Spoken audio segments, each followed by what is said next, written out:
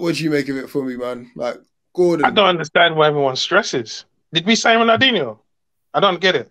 We signed Anthony Gordon at 21. What do you look? What, was everyone expecting? 40 goals. like he's contributing to the team. I understand this, yeah. He's joined a team. He's not on our level yet. He's joined us.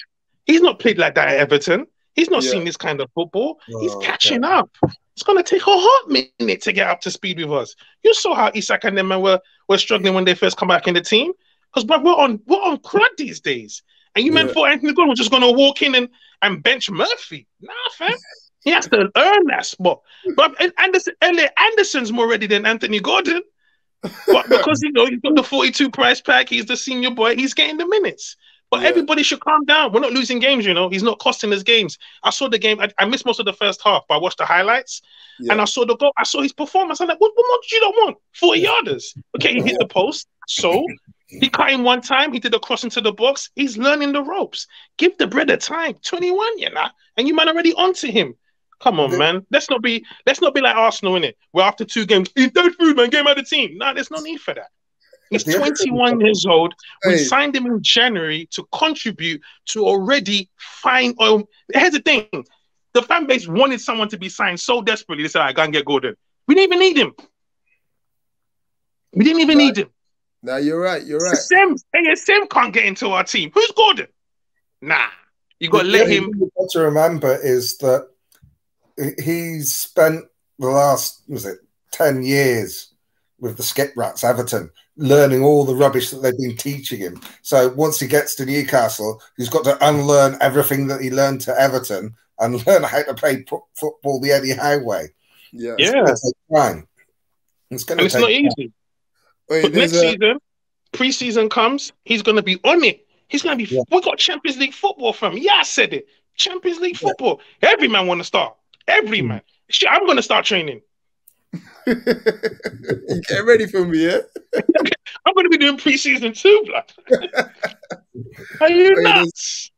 There's, there's, a great comment in the comment section here by Nine uh, NFC saying, "Look at the last forty million pound player we wrote off. He's now our best player, i.e., Joelinton. So, yo, that yeah. is a great comment. Um, yeah, because again, we all wrote him off. I certainly did anyway. And look, look at him now; he's shining now. So I, I think Bro, Joelinton is a beast yeah. of a player. I look at him every day thinking, how, how, how did this happen? Yeah, true, true, true. But I mm. think it will come. Well, I know how it happened. Eddie Howe is how it happened. Yeah, yeah. He's but if you think Eddie Howe will bring Anthony Gordon to Newcastle, thinking he's he's dead food. Come on, man. Give the manager some credit. Yeah. But anyway, listen, Gordon Gordon will learn. He'll learn from that that mistake. Well, not even this mistake. He just learn from obviously that performance. And again, he did everything that he could.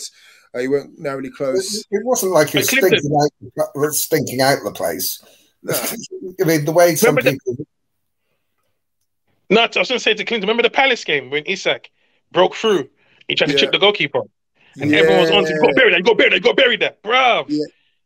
Who's, who's, who remembers that now? Oh, exactly. Mm. Look at Isak now, absolutely frightened. Right. So yeah, give give the man a break, man. Obviously, look, I think the two incidents that have had, happened quite close together. Obviously, the Brentford incident when he came off sulking, and obviously this. But mm-hmm. he's a young man. He's learned his trade, i.e., under Eddie Howe. He's unlearned everything that that he did under Everton. So now, once he gets going, before you know it, he will be talking about Gordinho and all the rest of it now. Mm-hmm. Mm-hmm put him in the England side. So I believe yeah.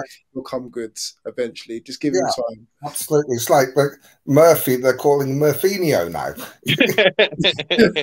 people, early in the season, people say, oh, get rid of him. Same with Sean Longstaff, get rid of him. My yeah. argument for that was that people, they contribute. The people that aren't getting on the pitch, you need to get rid of them first.